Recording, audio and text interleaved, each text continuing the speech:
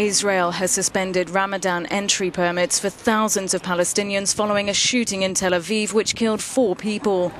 It affects at least 83,000 Palestinians in the West Bank and Gaza who had received permission to visit relatives during the Muslim holy month. Work permits of more than 200 relatives of the alleged gunman identified as Palestinians from a village near the city of Hebron were also frozen. The morning after the attack at the market where the gunman had opened fire, people were keen for life to return to normal. This resident explained that they were getting on with their lives, waking up, going to work, adding that she was scared about what happened, but everyone was continuing as usual.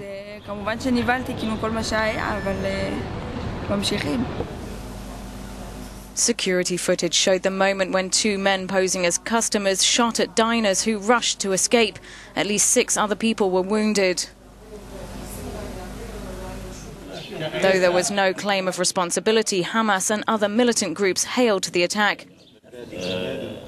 The father of one of the presumed gunmen said, The news was difficult to hear because my son is not affiliated to any political party, even though he has two uncles in prison, one with seven life sentences and another with one life sentence.